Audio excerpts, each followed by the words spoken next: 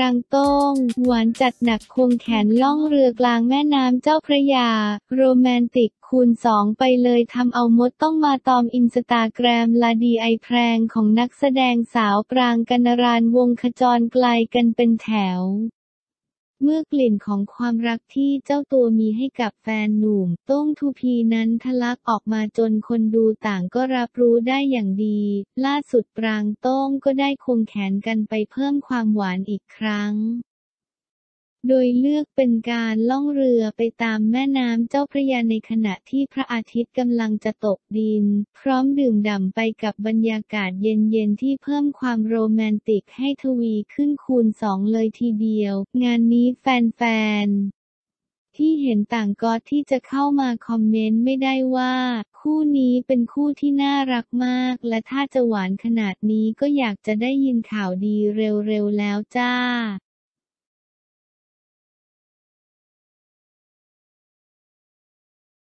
หน่องธนา งานเข้าโพสภาพหนุนตักสาว แพรวา เดือดขอคำอธิบายหน่องธนาน้องชายของบอยปกรณ์โพสภาพนอนหนุนตักสาวทำชาวเน็ตโฟกัสจุดเดียวกันแพรวาถึงกับคอมเมนต์ให้อธิบายด้วยจู่ๆก็เกือบงานเข้าซะแล้ว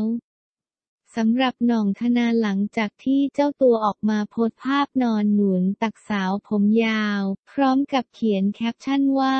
อากาศดีแบบนี้การได้นอนหนุนตักใครสักคนมันช่างสบายอุราเสียจริง แต่ยายเธอจึงไม่หันมาสลูกะกะตากับฉัน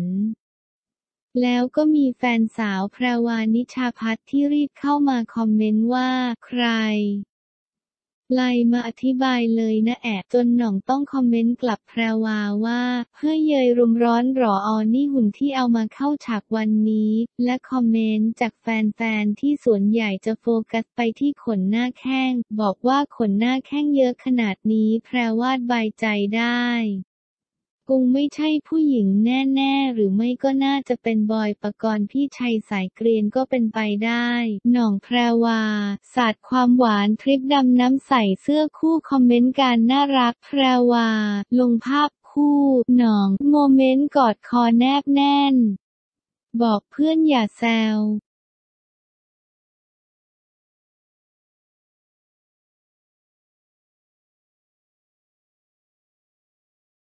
มีดราม่า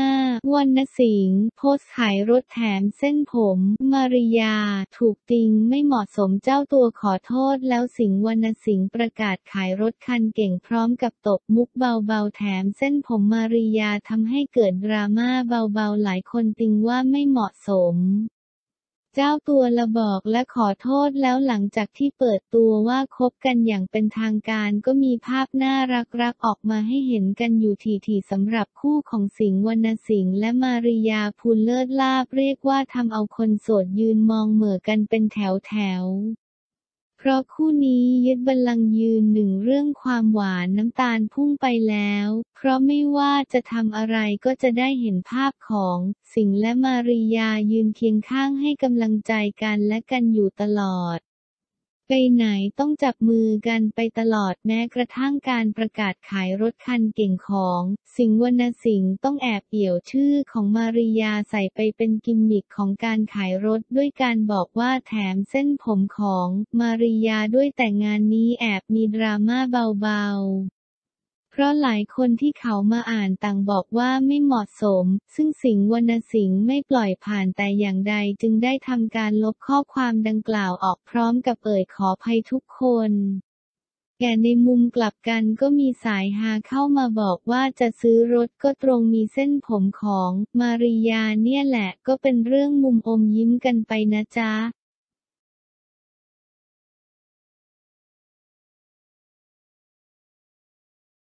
บอยประกรณ์เปลี่ยนลุคใหม่ไร้หนวดเกลี้ยงเกล่า ในชุดคลุมอาบน้ำสุดคูลทำเอาหัวใจแฟนๆ เต้นแรงผิดจังหวะกันไปหลายตลบเลยทีเดียวสำหรับความหล่อละมุนอบอุ่นลุคนี้ของ พระเอกคราวงามเจ้าเสน่ห์บอยประกรณ์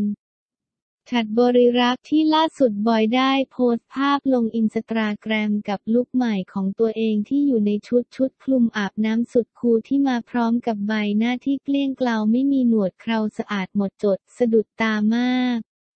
แถมยังทวีคูณความหล่อใสกิ๊กทุกรูขุมขน ยิ่งสูงก็ยิ่งเห็นความเนียนกริบผิวหน้านี่เป๊ะขั้นสุดจริง ๆ ดูอ่อนวัยกระชากใจเกินต้านทานชวนให้ค่าน้ำตาลในเลือดพุ่งปรีดปรีดบอกเลยว่าเหี่ยกลับมารอบนี้โอป้ามวักมากจนเพื่อนๆในวงการและเหล่าแฟนๆที่ติดตามเข้าไปคอมเมนต์กันสนั่นโซเชียล แต่นอกจากความหล่อที่ว่าร้อนแรงแล้ว ความเป็น family man ก็ยืนหนึ่งในใจ บอยประกรณ์อีกด้วยนะจ๊ะเพราะแน่นอนว่าเวลาอยู่กับครอบครัวหรือทำอะไรบอยก็มักจะทุ่มเทเต็มที่เกินร้อย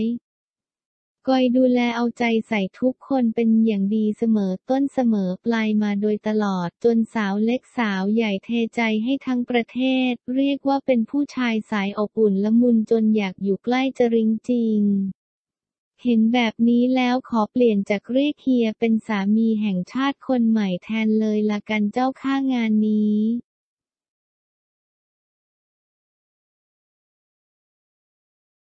ท็อฟฟี่สามบาทห้าสิบไม่ไอทำกินชวนภรรยาออกบูธขายก๋วยจับยวนหารายได้เสริมในช่วงวิกฤตโรคระบาดเรียกได้ว่าเป็นอีกคนที่มากความสามารถสำหรับศิวดลจันทนเสวีหรือท็อฟฟี่ 3.50 สตางค์ เป็นชาวจังหวัดชัยนาทก่อนหน้าที่จะเข้าวงการคือเคยเป็นนักแสดงเลียนแบบอ่างเถิดเทิงจากรายการตีสิบชนะจนดังภายในข้ามคืนผลงานในปัจจุบันนักแสดงประจำของ Workpoint Entertainment และเป็นนักร้องนำวง 3 บาท 50 โดยการ cover วง Room 39 สมรสกับนางสาวชนัตดาจันทนเสวี จูน มีบุตรชายหนึ่งคนน้องเฮเด เด็กชายพามทามจันทนเสวี มีธุรกิจส่วนตัวแบรนด์จัฟฟี่และแคบฟี่และล่าสุดหนุ่มท็อฟฟี่ 3 บาท 50 นั้นก็ไม่อายทำกินชวนภรรยาออกบูธขายก๋วยจั๊บญวนหารายได้เสริมในช่วงวิกฤตโรคระบาดจนชาวเน็ตต่างเข้ามาชื่นชมกันอย่างมากมาย ธุรกิจของหนุ่มท็อฟฟี่จะเป็นอย่างไรไปชมพร้อมๆกันเลยค่ะท็อฟฟี่3บาท50ไม่อายทำกินชวนภรรยาออกบูธขายก๋วยจั๊บญวนหารายได้เสริม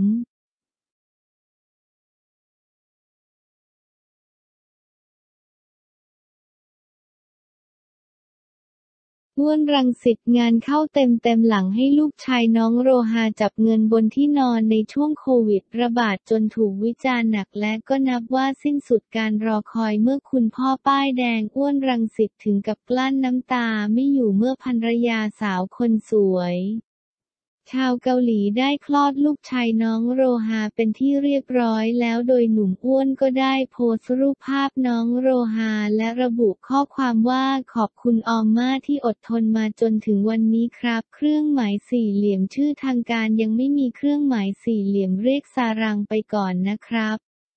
และล่าสุดหนุ่มอ้วนรังสิตนั้นก็งานเข้าเต็มๆเมื่อเขานั้นให้ลูกชายน้องโรฮาวัยสี่เดือนจับเงินบนที่นอนในช่วงโควิดระบาดจนถูกวิจารณ์หนัก ซึ่งงานนี้หนุ่มอ้วนรังสิตได้โพสต์คลิปวิดีโอระบุข้อความว่า